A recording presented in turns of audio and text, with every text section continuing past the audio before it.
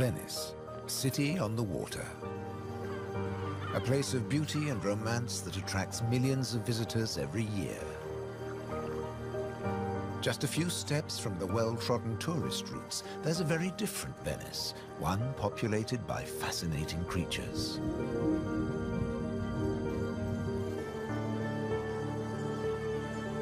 This film explores a Venice that few people ever see, a city that has a surprising double life.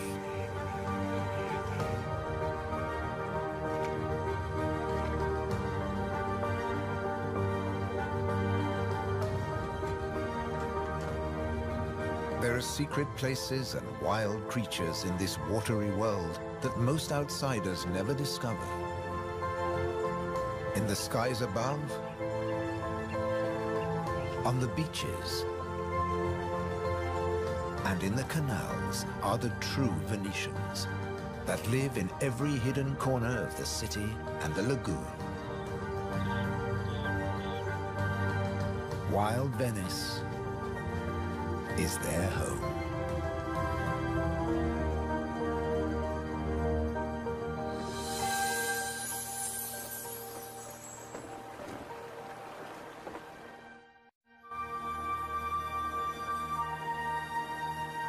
The city of Venice is built on sand, in a lagoon between the sea and the land. First formed from river sediments, man has since created an ecosystem as fragile as Murano glass.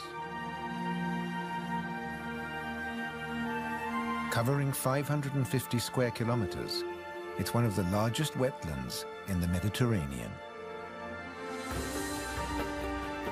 Flamingos arrived at these Venetian waters quite recently. They crisscross the Mediterranean from North Africa to France's Camargue, to Sardinia, Tuscany, and now Venice.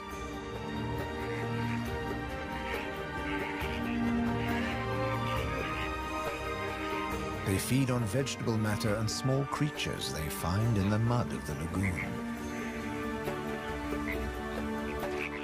In the shadow of Venice, the lagoon is the northernmost flamingo habitat in Europe.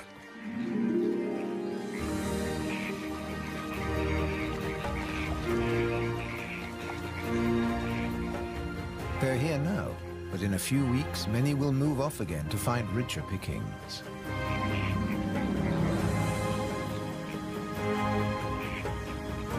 Their takeoff may look clumsy, but once in the air, their flight is balletic and elegant.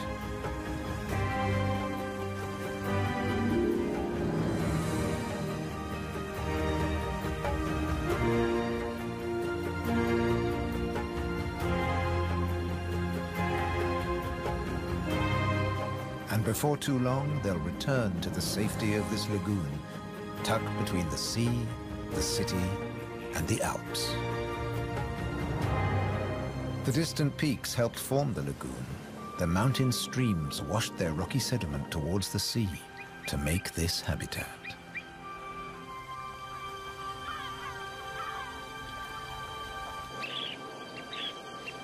Some of the lagoon's other birds are ready to leave.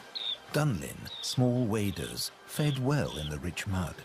They rest on the wooden piles that support the whole of Venice.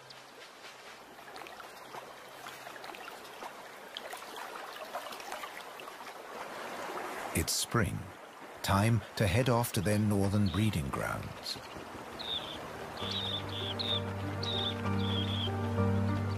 But the cormorants won't be lonely this summer. As the Dunlin fly away, other birds are flocking in. A bird's eye view reveals the full beauty of the lagoon.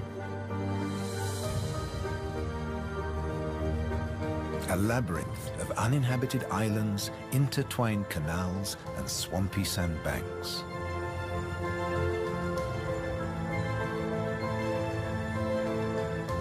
These marshy wetlands are known as the Barene. To survive here, plants need to like salt water and flooding. Natural arteries called ghebi meander through the brackish gardens, keeping the lagoon alive. The same waters flow through the city. The curving streams between the islands became the magical canals of Venice.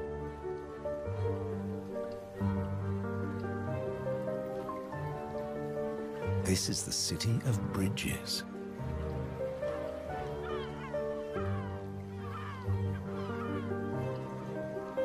Visitors are mesmerized by the romance of the canals and the ancient architecture, and often miss the smaller, wilder sights around them.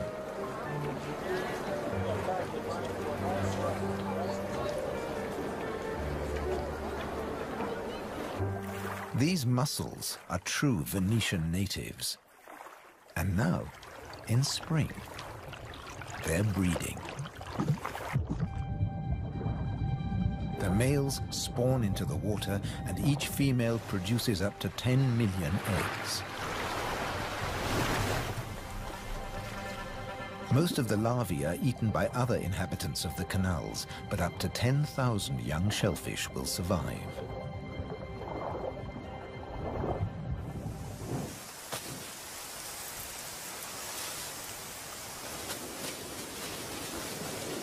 Just beyond the city, colonies of birds are breeding too. But a hazard of urban nesting is constant disturbance.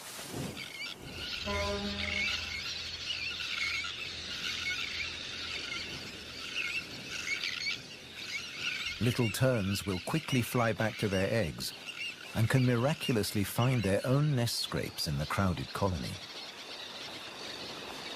Their cousins, the sandwich terns, lay their eggs directly onto the sand.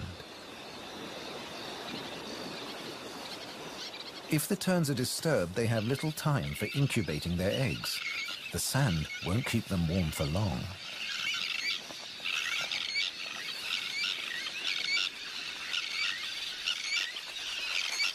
And left out in the open, they could be an easy target for predators.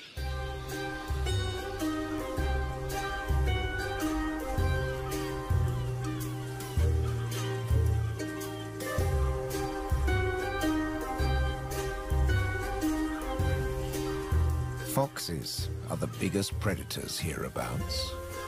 But from the air, he's easy to spot. The birds make it known he's not welcome anywhere near their nests.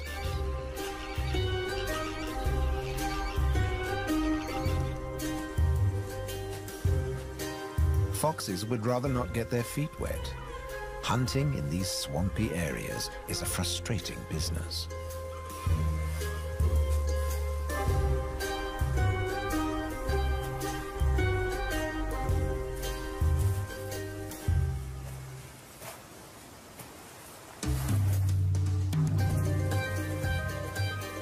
Grand leap disturbed another nesting bird. Now, it's a question of following the scent.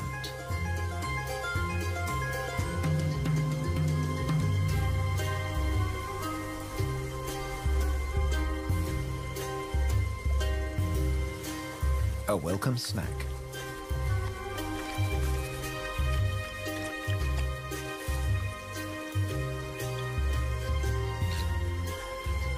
Just beyond the sand dunes is the busy colony.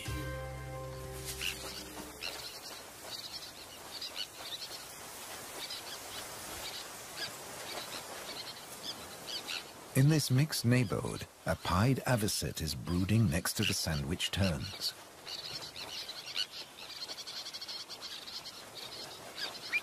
With nests so closely packed, there can be conflicting territorial claims with the common terns.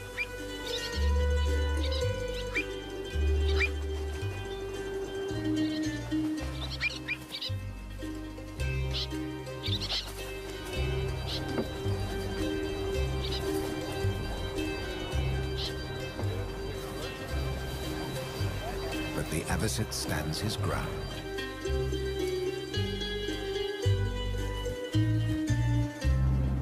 The Grand Canal is the main waterway of Venice, dividing the city in two. It follows the course of the ancient river Brenta that runs from the Alps all the way into the lagoon. It offers a journey through architectural history, starting in the 13th century.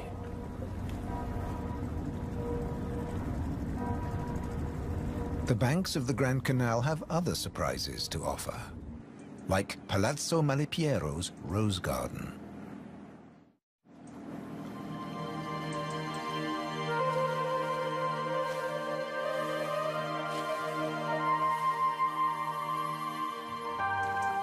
Nestled between the buildings is a hidden paradise.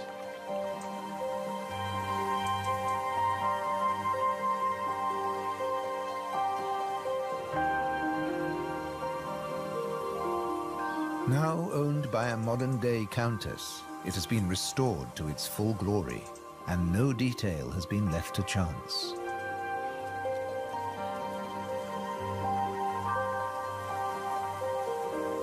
With the luxury of space in a city whose every square centimeter is exploited for maximum profit, it's also a sanctuary for many small animals.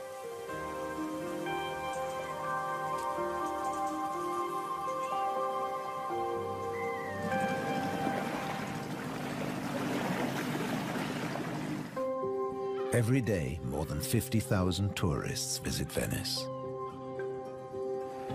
When the sun begins to set, the city's waterways empty. Venice belongs to the wild Venetians.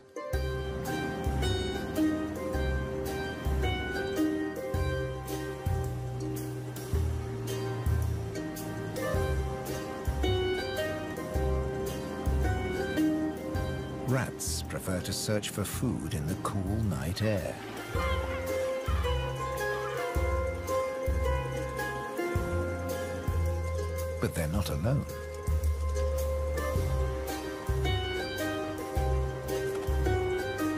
Pine martens are hungry too, and rats are on their menu. Pine martens are welcome in the city as they're natural rat catchers.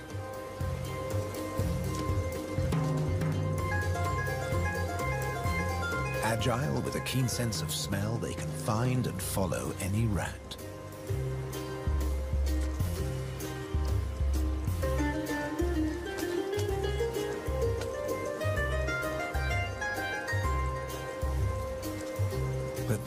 Endangered too. Since the rat population boomed, ironically, many martens have been killed by rat poison. The rat won the day, and the pine marten has to settle for dessert.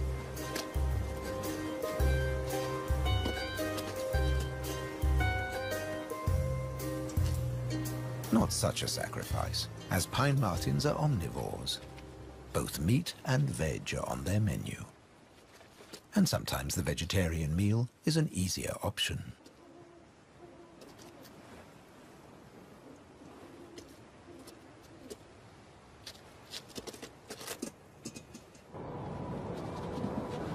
As the rat prepares to sleep, the city of Venice is beginning to wake up.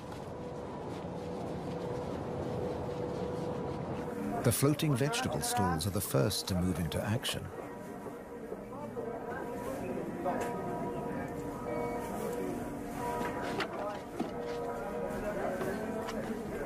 Soon these silent waterways will become busy highways again. In the 18th century, over 8,000 gondolas navigated the Venice canals. Now, there are only about 400 left. Life in Venice may be moving with the times. But one thing never changes. It dictates the daily rhythms of the city and the lagoon. Twice a day, the tide rises and falls as seawater washes in and out of the lagoon.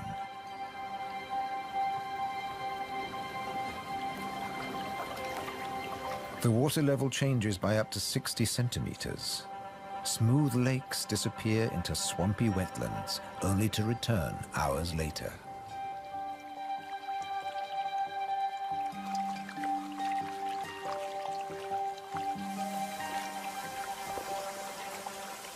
Retreating water levels reveal a surprise.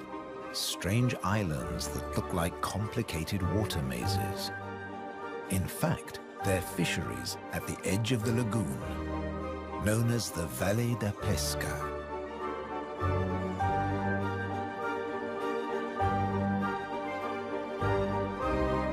They've been worked by the same families for generations, using a simple but ingenious method.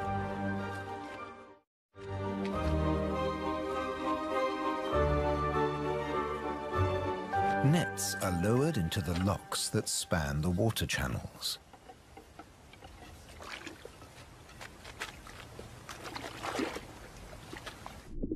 In the springtime, the locks bar the way to the young fish that stream into the lagoon to feed. The fishermen raise the nets and catch the small swarming fish in their thousands.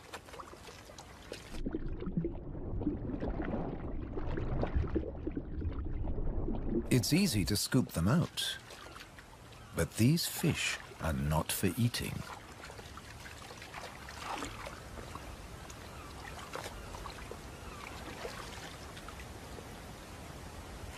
The fishermen place them on the other side of the bars and so trap them in the channels.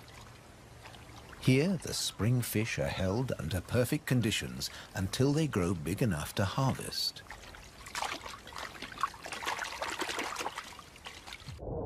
In the autumn, when the fish try to return to the sea, they're simply netted again. This time, they don't get away. Kingfishers have a more dramatic technique.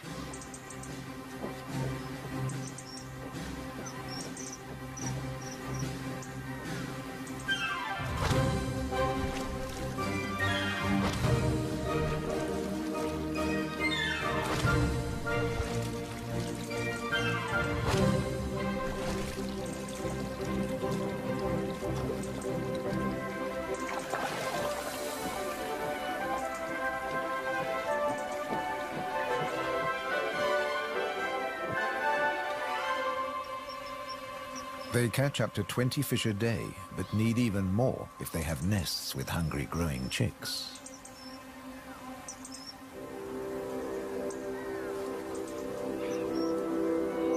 It takes enormous skill, but also violence. A sharp blow to the head stuns the fish.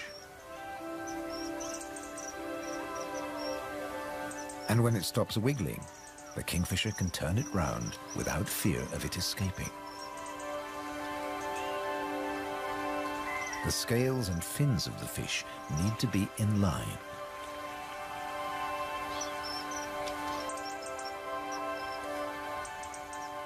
Now it's ready to swallow.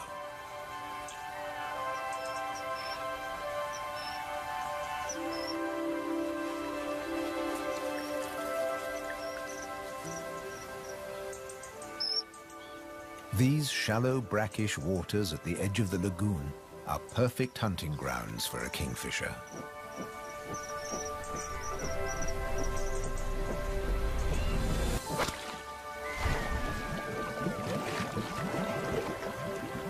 But not every dive is successful. They'll snatch the odd insect in the air, but 95% of the kingfisher's catch must be made underwater. The cormorant has an easier life, as does the little egret. And some don't even get their feathers wet while hunting.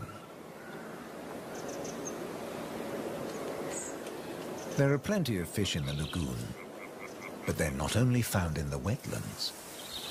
These waters flow through the city too. And there are fish to be caught in the canals. Beneath the bustling jetties of the famous vaporettos or water taxis, wildlife flourishes. Even here, the little egret can fish where the water is deeper and turbulent. It's not easy to keep an eye on a moving target from a moving base.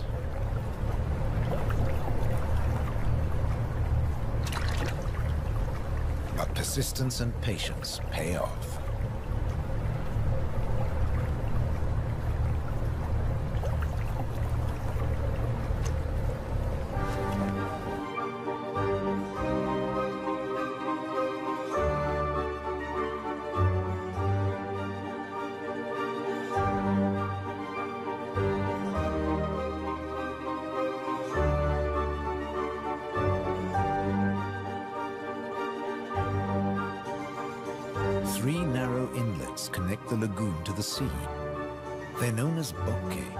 The Italian word for mouth. In spring, the fish travel into the lagoon because it's shallow, warm, and full of food. And in the autumn, they travel back out to the Adriatic Sea. The lagoon's fishermen understand the rhythms of the sea. But there was one phenomenon that remained a mystery for many years. When they cast their nets into the rich fishing grounds, they were torn to shreds. The fishermen believed that water spirits were grabbing their nets and named the area the Tegnùe, or Hold Fast. The Hold Fast was in fact a jagged reef, an unexpected and magical aquatic paradise. These unique natural rock formations are similar to coral reefs.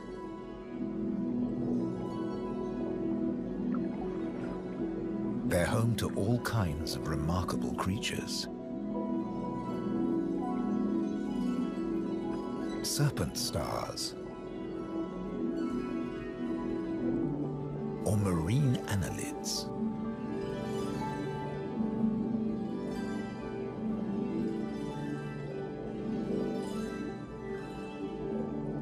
This precious area is now protected.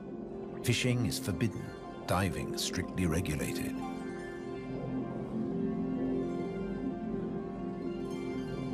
Even harvesting a shellfish delicacy like these canestrelli is banned.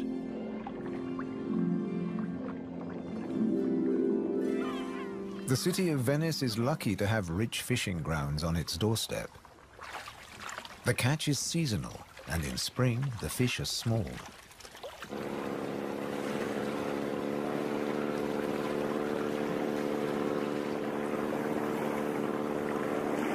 But the fishermen will go out, as long as they can find a buyer. Only the weather can hold them back.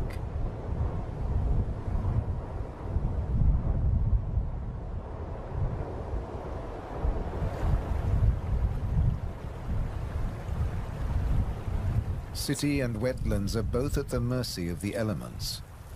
A storm is heading towards the lagoon. When rain-bearing clouds build up against the southern face of the Alps, and when warm southerly winds whip up the sea, water is driven into the lagoon, flooding the city and engulfing the swampland. This extreme high tide is known as acqua alta and can be disastrous for ground nesting birds. Thankfully, it's rare in the springtime. It strikes more often in the autumn. Storms can vanish as fast as they arrive, and the limpid sunlight that Venice is so famous for bathes the city again. In early summer, Venice teems with tourists.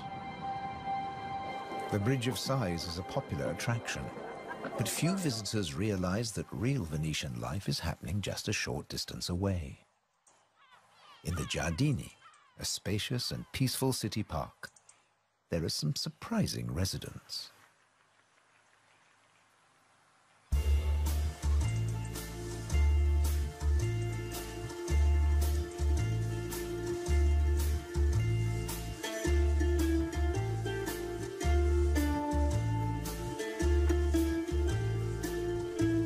This prehistoric-looking creature is an amorous green toad looking for a mate. After all, this is the city of romance. But for a toad, finding a partner in a city isn't always easy. Even a quiet park is full of danger and disruption.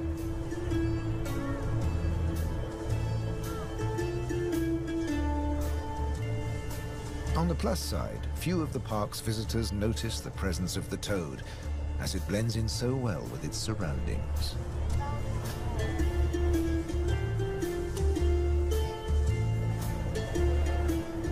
Another of the city's visitors is far more conspicuous. A stark contrast to the ancient buildings it comes to celebrate.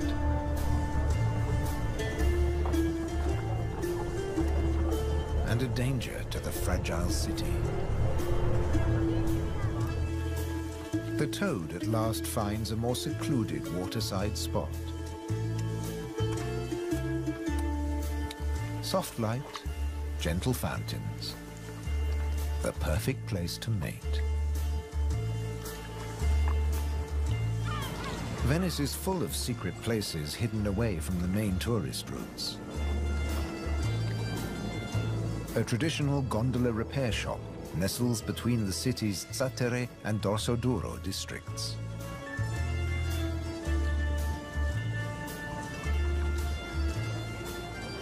Craftsmen repair the boats in the peace of the backwaters. The tranquility also attracts some exotic-looking animals.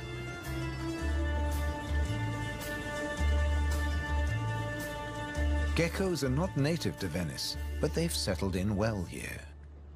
During the day, they'll sun themselves on warm stone.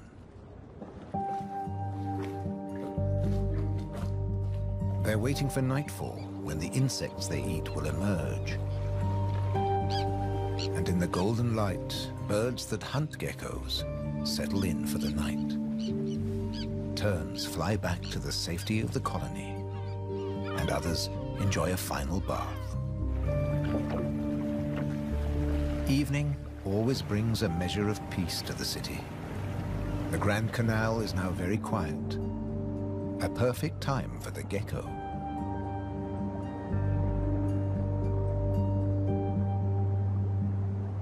Geckos have evolved specially adapted feet that make them excellent climbers.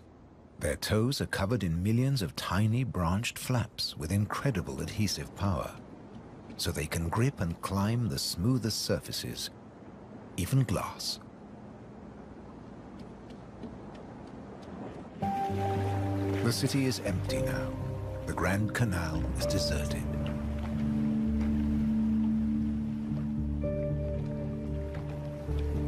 The evening's activity has passed to Venice's bars and restaurants.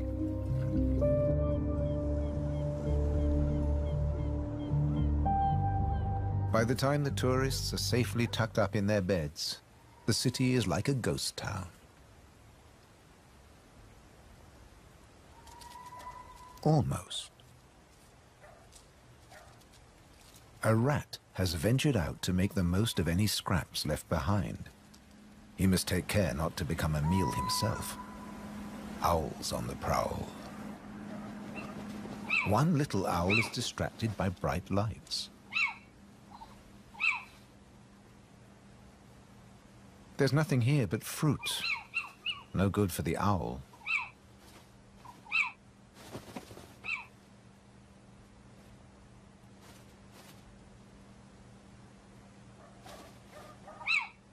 This house call hasn't paid off. Time to make a swift exit. The lucky rat will make it home tonight.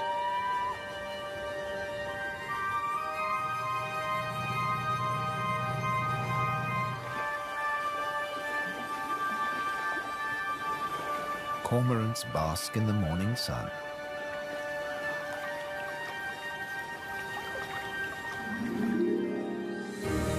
The terns start fishing early. The colony is now a hive of activity.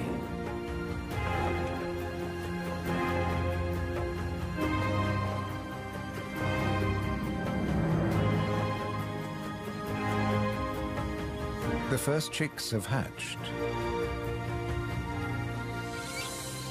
Exhausted from the effort of breaking out of the egg.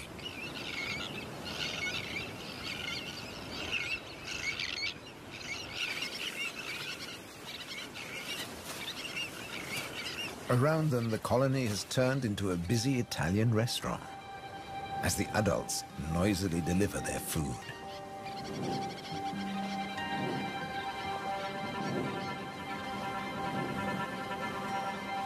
The chicks blend in well with the sand. Their cries for food are a new and insistent sound on the beach.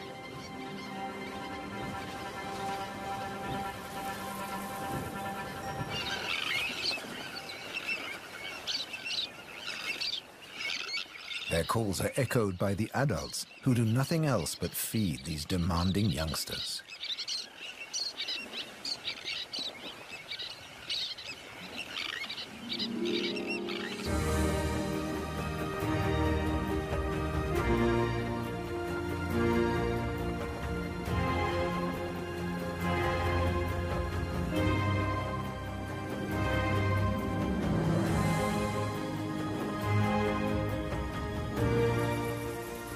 Hot and humid, and the lagoon is at its most beautiful.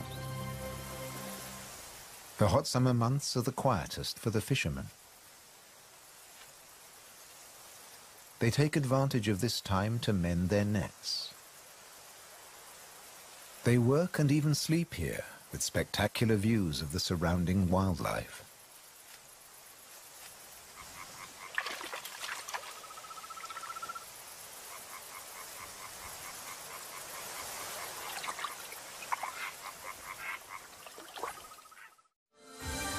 About 8% of the lagoon's surface consists of islands. 20,000 people once lived on Torcello. Now only the cathedral tower remains. Burano is known for its colorful buildings. San Francesco del Deserto is home to a Franciscan monastery. The island of Madonna del Monte is being swallowed by the lagoon.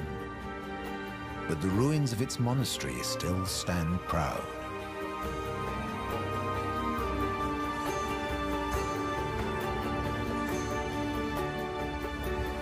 Enchanted places like this are an ideal refuge for wild animals.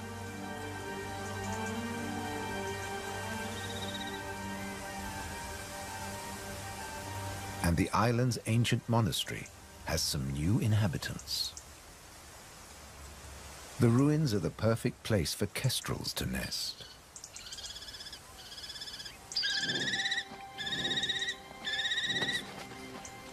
The hungry chicks are nearly as big as the adults and almost ready to fledge. Feeding this brood is a full-time job for both parents.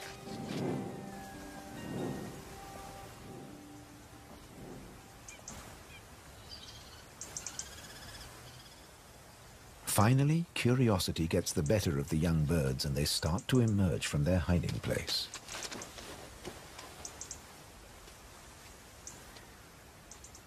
The first nervous explorer is soon followed by a sibling. They wait cautiously on a ledge, while one of the adults watches from afar.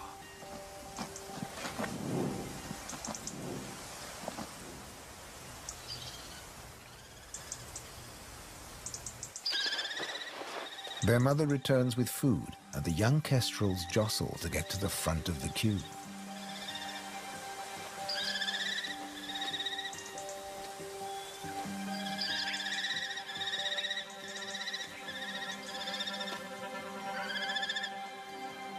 The keenest and the loudest chick is fed first.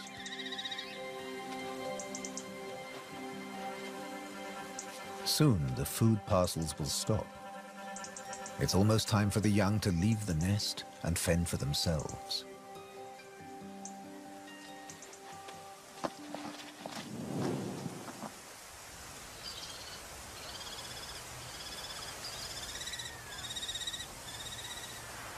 Not all of the lagoon is quite so peaceful. Venice's Lido, with its luxury hotels, is where the human bathers gather.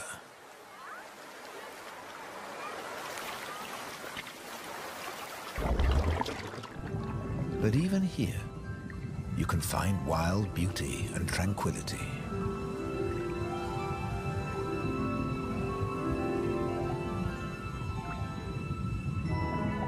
In the Tegnùe, Venice's reef, one of nature's most delightful performances is in full swing. The squid's mating dance. The pair move together like synchronized swimmers as waves of rainbow colors pulse along their bodies.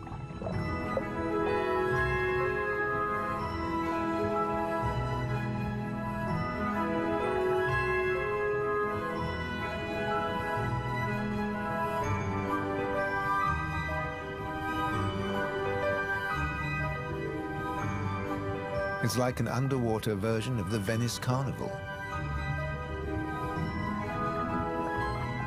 Complete with face masks and disguises.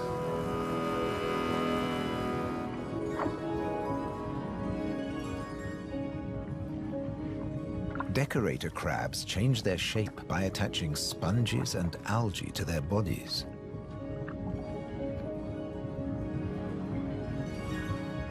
These bizarre disguises are excellent camouflage. The crabs creep past their neighbors and predators like living rocks from the seabed.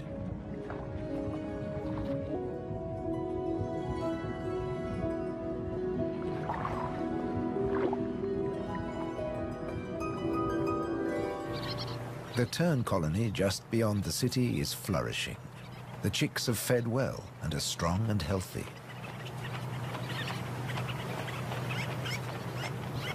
The young birds are gathered in a creche, with one or two adults looking after them all.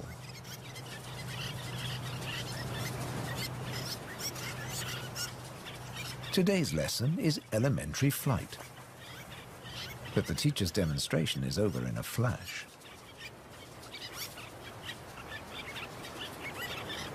The young birds flap their wings to exercise their growing flight muscles, but they're not ready to take to the air yet.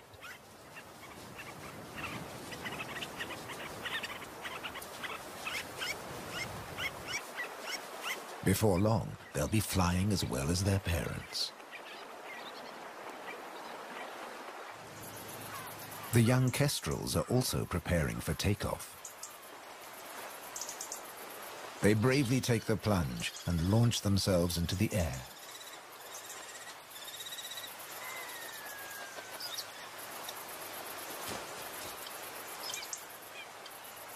Dropping from a height makes their first flights easier. Once in the air, they're in their element and can glide and flap back to safety.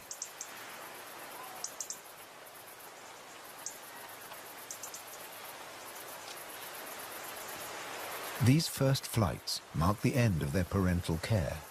Now they have to find their own territory.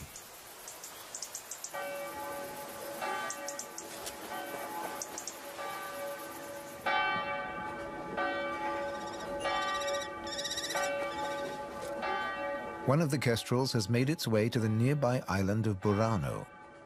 It's unlike the remote nest site, but it still has everything the kestrel needs. Just like the ruins, the brightly colored walls offer protection. These birds are welcome visitors, and the people here seem happy to have a kestrel watching over them.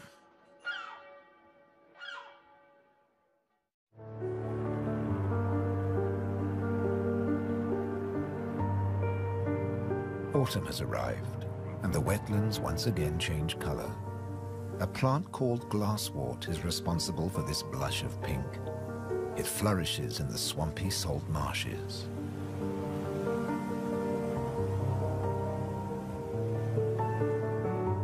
The first autumn mists mark the end of summer.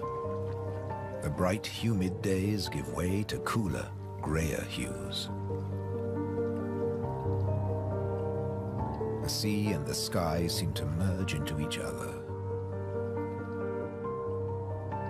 Now in September, the sea is generally calm. But from the autumn equinox, there are high tides. And sometimes, Venice floods. For now, the water is still and shimmers like liquid mercury. When the temperature drops, the beaches are finally too cold for tourists. Animals better equipped to bear the chill reclaim them. A hungry fox sniffs along the shore looking for food.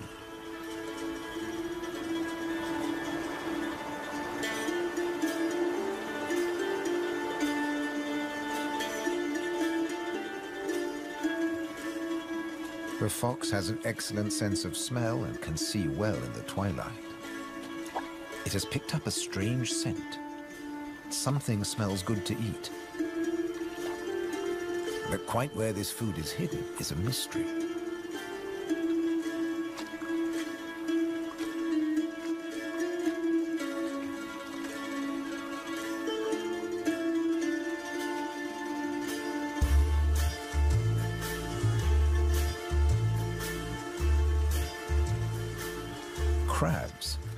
Crossing the beach, leaving behind a number of trails, and the fox is very confused.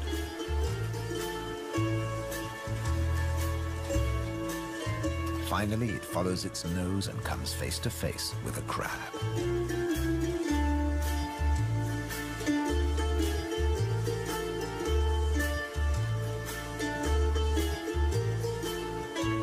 It's an unequal battle, but the crab has the advantage of armor and weapons.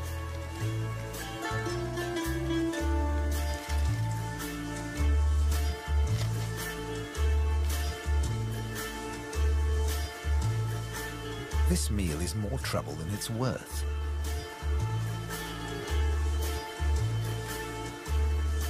There must be easier pickings. The crab, dazed but victorious, moves off to a more secluded place.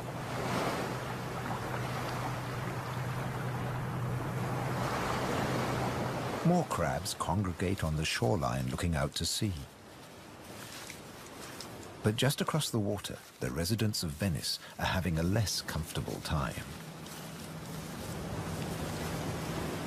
The waters of the lagoon are creeping into the city.